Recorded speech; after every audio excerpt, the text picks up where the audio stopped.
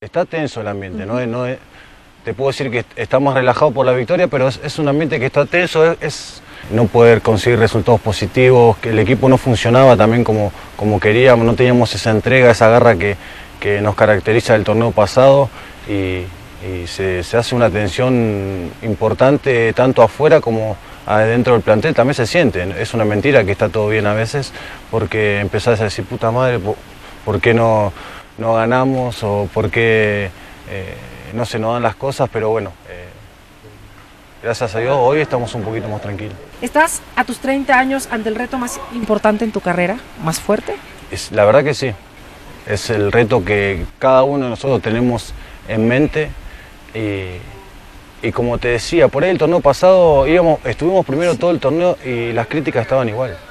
No es que estaba todo bien. Eh, eh, siempre por X o por G eh, algo estaba mal, entonces eh, obviamente también hay muchos factores que hay mucha gente que, que es del club que le quiere que le vaya mal. Es así, no es una mentira, es algo que es una realidad. Espera que el club o el equipo pierda para estar ahí o hablar. Entonces también tenemos que saber mediar con todo eso.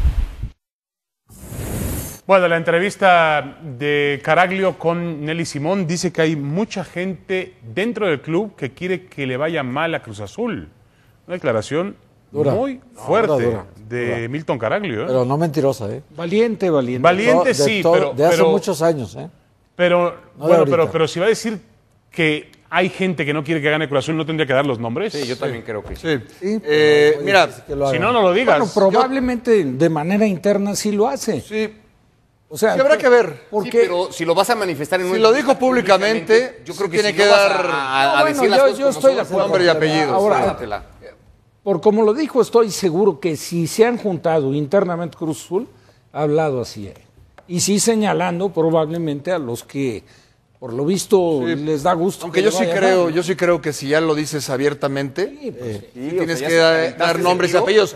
Es una declaración valiente. Sí. No, no cualquiera se Fuera de tiempo, eso. sí creo que no había necesidad de que Cruz Azul. Sí, con y dos victorias seguidas. quizás Ricardo parece también no le sacas la cabeza. y quizás no le ayuda al equipo una declaración así, a medias. Ahora, no son futbolistas, no son, supongo yo, quiero suponer que no es que hay futbolistas dentro de Cruz Azul que no quieren No, que el no equipo creo, gane. no creo. creo que tampoco sean directivos cercanos a, a Pedro Caixinha o el No, yo creo que hay un poco de todo.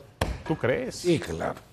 Rafa, Que hay jugadores inconformes. pero que quieren que pierda el equipo. Bueno, a lo mejor en su afán de querer agarrar la titularidad, alguno que no esté jugando. Bueno, el que, no es, el que no es titular necesita que el que sea titular ande mal para poder jugar él y a partir de ahí que le vaya Ahora, equipo. o su- David, muy sencillo. Sí. Cuando tú, cuando tú tienes eso, es muy difícil que seas campeón, ¿eh? Sí, de Claro, acuerdo. por Tú eres campeón cuando una institución, desde el dueño, el presidente, vicepresidente, director deportivo, hasta los jugadores y el jardinero, el Van masajista, el utilero, todos. quieren ganar. Si hay dos o tres o cuatro o cinco en ciertos puestos claves que no desean que el equipo gane, no gana, ¿eh?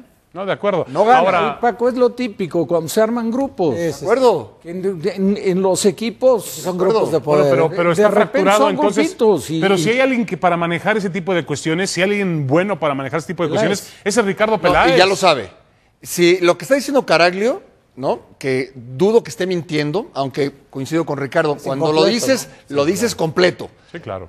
En ese caso yo sí creo que Ricardo Peláez está consciente plenamente de lo que es Cruz Azul hoy en día, ¿eh? Y estará buscando soluciones. Ya lo conoce. Por Pero además, supuesto, muy, por muy supuesto. seguramente también Ricardo, porque tampoco venimos aquí a descubrir nada nuevo. O sea, Ricardo debe ser de uno de esos bandos y hay otro bando en el que Ricardo. no quiere a Ricardo. Claro. Sí, claramente, ¿no? O sea, Ahora, así ha funcionado Cruz Azul hace Pero entonces, años. eh, con la declaración de Caraglio, yo estoy de acuerdo con lo que dice Paco. Yo creo que este equipo difícilmente puede lograr algo en este torneo. Y además, yo no sé si este es un mal que Cruz Azul tiene ya desde hace algún tiempo. Ah, no, claro que lo tiene. hace que mucho lamentablemente le ha afectado, ha sido la barrera David- para poder alcanzar el objetivo del campeonato. En, el ulti- en la última etapa, a raíz de que llegó Ricardo, el golpe de la final del América. Por favor. O sea, no se han recuperado eso. Pues para mí, a, a mí me da la impresión de que no.